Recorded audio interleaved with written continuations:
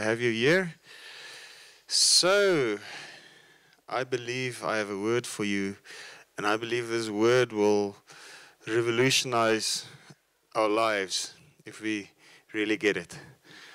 So, it, it builds on what I said on Sunday and what I said yesterday. So, um, let's go to Psalm chapter 8 again. I, I'm going to recap a few scriptures. And it's so simple. It's so simple. It's so simple. And we need to really get this. Psalm 8 says, O Lord, our Lord, how excellent and majestic and glorious is your name in all the earth. You have set your glory on or above the heavens. Out of the mouths of babe and unweaned infants, you have established strength because of your foes, that you might silence the enemy and the avenger. So there's an enemy and there's an avenger, and God is doing something to silence them. So um, He conquered them at the cross. But you'll see how this plays out in our lives. When I view and consider your heavens, the work of your fingers, the moon and the stars which you have ordained and established, what is man that you are mindful of him, and the son of earthborn man that you care for him? Yet you have made him but a little lower than God or heavenly beings, and you have crowned him with glory and honor. So you are crowned with the glory of God, and the glory is above the heavens. this is crazy stuff. You made him to have dominion over the works of your hands. You have put all things under his feet. All sheep and oxen, yes, the beasts of the field, birds of the air, and the fish of the sea, and whatever passes along the paths of the seas. O Lord, our Lord, how excellent and majestic is your name in all the earth. Okay, so you have been crowned with glory, and his glory is set, settled above the heavens. And he has given you dominion over the works of his hands, and all things have been put under your feet. Hebrews chapter 2. So we're recapping a few scriptures from Sunday and from yesterday. It's such a wonderful revelation. So short, so simple, you know it, but do you know it? Okay, so Hebrews chapter 2 says, For it was not to angels, verse 5, that God subjected the habitable world of the future of which we are speaking. That's the world that we are living in now. It has been solemnly and earnestly said in a certain place, What is man that you are mindful of him, or the Son of Man that you graciously and helpfully care for and visit and look after him? For some little time you have ranked him lower and inferior to angels or Elohim. Uh, you have crowned him with glory and honor and set him over the works of your hands. For you have put everything in subjection under his feet. Now, in putting everything in subjection to man, he left nothing outside of man's control.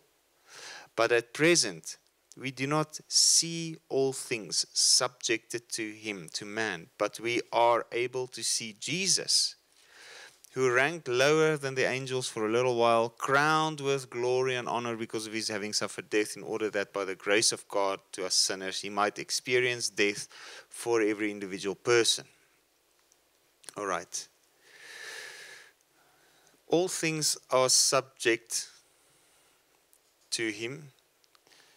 All things are subject to us. You are crowned with glory. Jesus is crowned with glory. You are seated with Jesus on the throne at the right hand of the Father in the heavenlies. The crown is the glory is exalted above the heavenlies. So you are crowned with the glory and you are seated in the heavenlies. Uh, so all things, when you are seated, are under your feet. Okay. All things, when you are in the position of rest, are under your feet. All right. So let's just quickly go to Romans 14. It says in Romans chapter 14, verse 17, after all, the kingdom of God is not a matter of getting the food and drink one likes, but instead it is righteousness, the state of that makes a person acceptable to God, heart peace, and joy in the Holy Spirit. So it's not about the natural food; it's about the spiritual. It's not about what food you eat in order to fulfill a ritual, but it's about feasting on the Word of God that brings peace and joy. Okay, so we have peace and joy, and the peace and joy causes the kingdom to be uh, manifested. So the kingdom is righteousness. We believe the word of righteousness. We are made holy. We are justified. We are washed clean. We receive His holiness. We receive His Holy Spirit. Righteousness, peace, joy in the Holy Spirit. Okay, so righteousness, peace, joy. Let's go to Romans 16, verse 19. For while your loyalty and obedience is known to all, so that I rejoice over you, I would have you well versed and wise as to what is good and innocent, and guileless to what is evil. Don't be well versed in what is evil and totally oblivious of what is good. We need to be well versed in what is good and innocent and guileless as to what is evil. And the God of peace will soon crush Satan under your feet. The grace of our Lord Jesus Christ be with you. Okay, so if you are in the kingdom of God and you've received the Holy Spirit and you, you receive the righteousness and the peace and the joy of the Holy Spirit, you enter Hebrews chapter 4 into the rest by coming to the throne and you are being seated on the throne. Okay, crowned with glory, seated on the throne. Okay, you enter the rest of God in Christ at the right hand of the Father. You have peace, you have joy. Now, the God of peace soon, as soon as this happens and the peace manifests underneath your feet. Okay, so it happens like this, it manifests like this.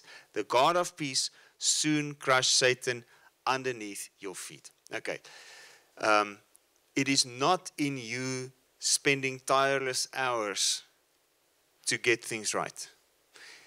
You will do far less and achieve far more by having peace and joy. So here's the strategy of deception, the strategy of of getting you to be useless. That's that's the only thing that darkness can do is that darkness can lie to you. Darkness can cause you to think in a way that makes you to be unfruitful. Darkness can cause you to think in a way that makes you to be ineffectual. So, all these things around us, if we look at it and we take fear and we become intimidated by those things, those things have an effect on us. All right? And by our own thinking, we associate with what's here.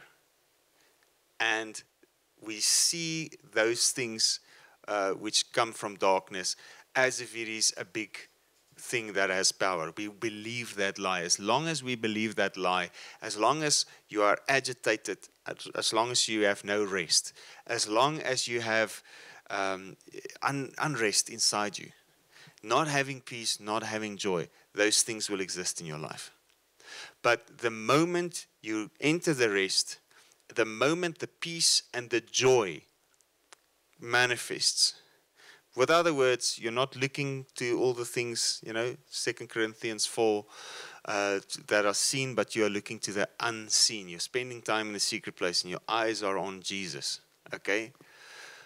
You abide in Jesus. You abide in the love. You abide in the light.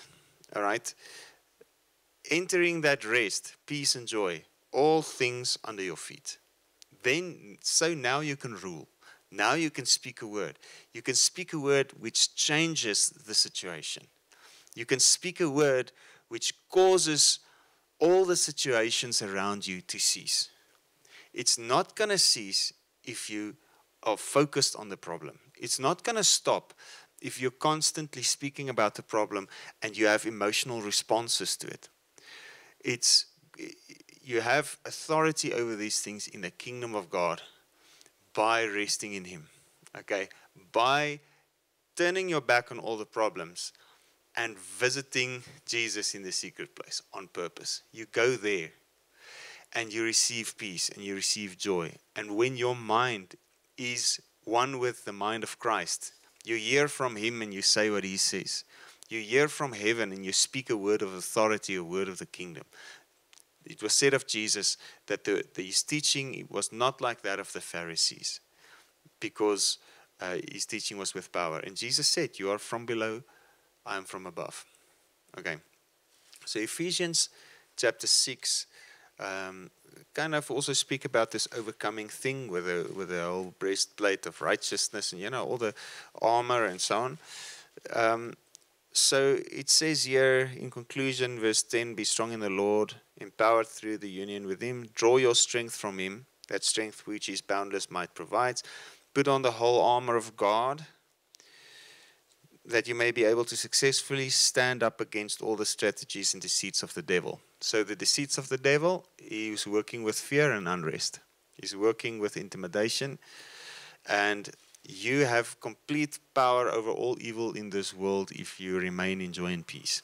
Okay, so for we are not wrestling with flesh and blood, uh, but against despotisms, against powers, against the master spirits who are the world rulers of this present darkness, against the spiritual forces of wickedness in heavenly sphere. Therefore, put on God's complete armor that you may be able to resist and stand your ground on the evil day of danger. And having done all the crisis demands, to stand firmly in your place. So we stand. Okay. We stand seated. stand therefore, hold your ground, having tightened the belt of truth around your loins. So that's the word having put on the breastplate of integrity, moral rectitude, right standing with God. That's the word of the kingdom. And having shod your feet in preparation to face the enemy with the firm footed stability and the promptness and readiness, etc., amplified, produced by the good news of the gospel of peace. So, right there you have truth, right there you have peace, right there you have righteousness. So, it seems like it's, it's the gospel of the kingdom of God. Lift up over all the covering shield of faith. Faith comes by hearing what? The gospel. Upon which you can quench all the flaming missiles of the wicked one. And take the helmet of salvation. So, salvation by grace, salvation by faith in the gospel. Take the helmet of salvation and the sword that the Spirit wields, which is the word of God. Pray at all times, on every occasion, in every season, in the Spirit. With all manner of prayer and entreaty to that end, keep alert and watch with strong purpose and perseverance, interceding on behalf of all the saints. Okay. So, you need the Word and you need the Spirit in order to have righteousness and peace and joy in the Holy Ghost. And if you rest in, in abide in Him by abiding in the Word, and if you don't let the Word be taken away from you, yesterday's message, if you don't let the Word be removed from you, your peace cannot be removed from you. Oh, the devil stole my peace. No, the devil stole the Word, and he caused you to look at the cares of the world around you. Let, let's read it Mark chapter 4. All the devil did was produce stuff to distract you. It's you looking at it, it's not him stealing your peace. So it's not so much in the situation that surrounds you, it's in us looking at the situation that surrounds us. Okay? Verse 3 says, Mark chapter 4, give attention to this. Behold, a sower went out to sow. And as he was sowing, some seed fell along the path, and the birds came and ate it up. So the word was never received in the heart. Other seed of the same kind fell on the ground full of rocks where it had not much soil, and once it sprang up because it had no depth of soil. Uh, once it sprang up because it had had no depth of soil, and when the sun came up, it was scorched, and because it had not taken root, it withered away. Other seed on this, of the same kind fell among the thorn plants, and the thistles grew and pressed together and utterly choked and suffocated it, and it yielded no grain. And other seeds of the same kind fell into good, well adapted soil and brought forth grain, growing up and increasing and yielding 30 times as much, 60 times as much, 100 times as much. So, yielding fruit. So, what's the fruit? It's getting what you ask. John chapter 15. When you bear much fruit, my honor is glorified. He says, ask whatever you will, and it shall be done for you. Okay. Says, And he said, He who has ears to hear, let him be hearing, let him consider and comprehend. Verse 13 says, And he said to them, Do you not discern and understand this parable? Verse 14 The sower sows the word. The one along the path are those that have the word sown in their hearts, but when, he, when they hear, Satan comes at once and by force takes away the message which is sown in them. And in the same way, the one sown upon the stony ground are those who, when, when they hear the word, at once receive and accept and welcome it with joy. And when they have no real root in themselves, and, uh, and so they endure for a little while, and when trouble or persecution arises on account of the word, they immediately are offended and become displeased and indignant, and they stumble and fall away. The, the King James says, Afterward, when affliction or persecution ariseth for the world's, uh, for the uh, word's sake, immediately they are offended. And the ones sown among the thorns are others who hear the word. Then the cares and anxieties of this world and distractions of the age, and the pleasure and delight and false glamour and deceitfulness of riches, and the craving and passionate desire for other things creep and choke and suffocate the word, and it becomes fruitless. It's not the sickness or the persecution. It's not the cares, the bills that you need to pay that you don't have money for. It's not, it, it's also the glamour, the deceitfulness of riches. It's also passionate desires. It's also cravings. It's all kinds of things that choke the word. Why is the word choked? Because we are not trusting in the word, we are looking and we are being distracted by these other things. So it is not the fact that those things appear that cause us to lose peace. It is the fact that we let those things into our minds and let the word in our minds be choked off by those things. So we give more attention and time to those things than giving attention and time to the word. So, how do we rule? We abide in the word and let the word dwell in our hearts, dwell in our minds. And then, when something arises from the word, address it and speak over it. From a place of joy and peace, address the situation and speak over it. And immediately it will shrivel up and die. Jesus said in Mark chapter 11, after uh, he was on the way, you know, if you put Mark chapter 11 and John chapter 2 together, Jesus was, uh, was on his way to cleanse the temple. And he came, and there was a fig tree, speaking of Israel. Speaking of, not Israel, speaking of the Pharisees. Israel was the, the vineyard. Speaking of the Pharisees, fig tree. And he went there and he found no fruit. And then he said, so he didn't um, lose his peace because there was no fruit. He addressed it. He said, No one will ever eat from you again. no one will ever eat from your fruit again. And he cursed the fig tree. And he went and cleansed the temple of God from what the Pharisees brought into the temple. And when he got back, the disciples noticed the fig tree is withered up. And he said, Have faith in God. And then he said later on, Whatever you say, you will have. Whatever you say, God will give it to you. So, from a position of joy, peace, and righteousness on the throne with the crown of glory, whatever you say, you will have. So, don't try to overcome your situation or don't discuss your situation and embrace the fear and embrace the frustration and embrace all the tiny little details of those things and almost revel in the big problem that you have. Rather, acknowledge it's there, but seek God. Turn your back on the problem. Seek God. And when you are seated with Christ, on the throne with a crown of glory. You have peace, you have joy, and the God of peace will soon crush Satan underneath your feet. As soon as you say it, He says it through you. As soon as you pray it, the Spirit prays through you. Uh, you will see the results of these things. Okay, so um, he says, verse 24, 24 Be careful what you are hearing. The measure of thought and study you give to the truth you hear will be the measure of virtue and knowledge that comes back to you. And more besides will be given to you who hear. For to him who has will more be given, and from him who has nothing, even what he uh, what he has will be taken away by force. Why will it be taken away by force? He's not abiding in the word, so the Satan comes and steal it, steal it away.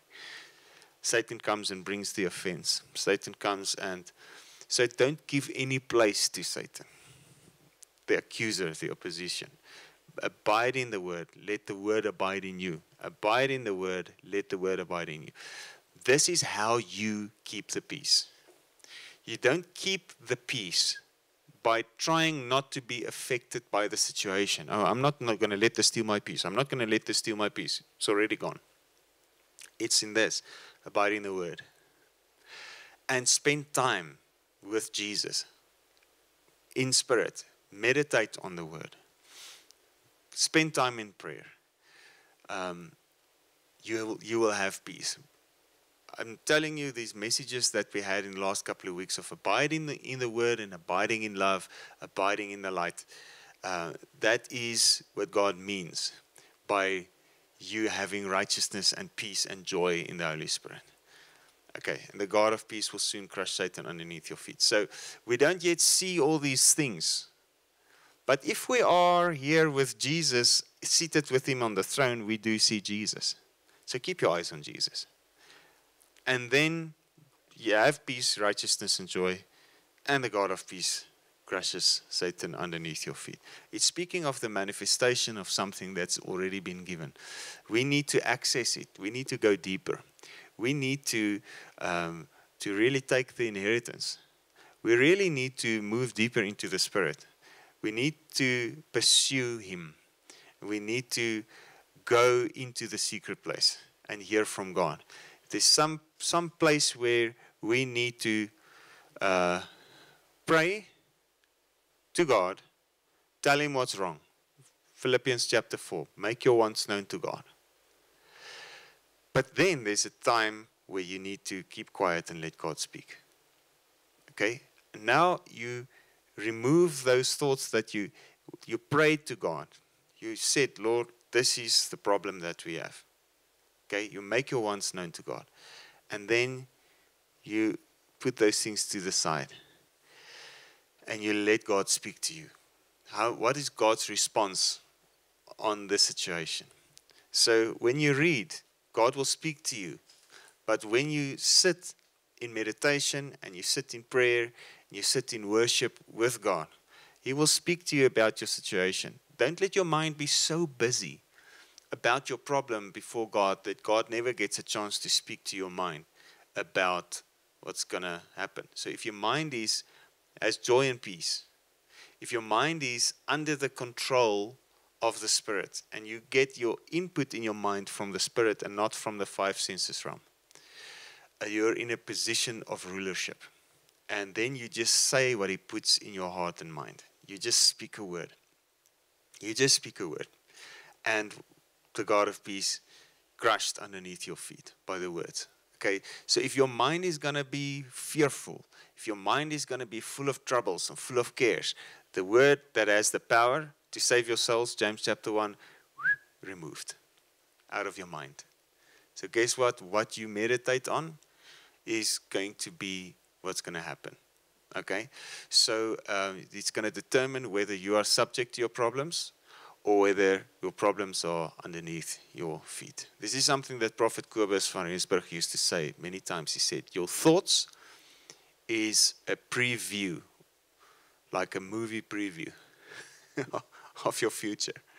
So uh, it's like the forthcoming attractions. So we, we really need to get our thoughts in line with the word, and we really need to say what the word says. We really need the word to dwell in our hearts, and we really need to dwell in the word. Okay? We need to enter there into that place peace, joy, righteousness. And from there, we just speak a word. We've been wasting time. We've been spending time trying to work for Jesus, trying to sort things out. It's now time to spend time with Him, and He sorts out the rest. It's so easy. Um, we stand on the finished work of Christ. We stand on what He already did, which brings us peace and joy, which is the kingdom. And the kingdom is His authority and His power. So I hope this blesses you. It's so simple we can make it. It's so simple we can take it and subdue and rule. Okay? So whatever is ruling over your heart needs to be subjected.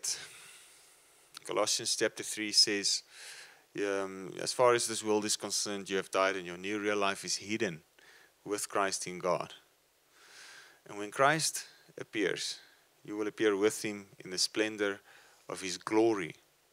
So we need to spend time with the glory so that the glory can appear, so that Christ can appear in us. We need to seek out our new life hidden with Christ in God, so that Christ can appear in us to the world. And then it says, So kill the evil desires lurking in your members. So the evil desires lurking in our members are killed when we don't look at the prompting of the evil desire, but we visit the secret place and we spend time there and we let His Spirit influence our hearts, His Word influence our hearts. You will see how quickly your flesh obeys. You will see how quickly your biology gets in line. Your biology gets in line when you walk in the Spirit. There might be some resistance, but it's worth really uh, not obeying the evil desires lurking in, the, in your members. It's worth it. It's worth going there and being subject to his peace and joy and righteousness and letting the peace and joy and righteousness rule. Let the peace of God rule in your hearts and be an umpire in your hearts. That the, peace of God will guard over your hearts, Philippians 4, and, and um, garrison Mount God and protect you. So we need the peace. Okay. I hope this has really blessed you. This is what I have on my heart for you today. Um, we need to let the peace of God guard.